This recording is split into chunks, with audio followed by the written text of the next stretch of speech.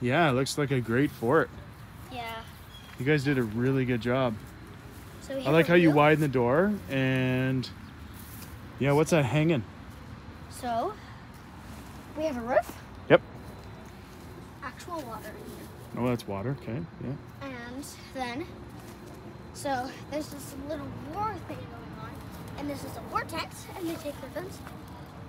Here. I love the imagination. Good job. And Great job.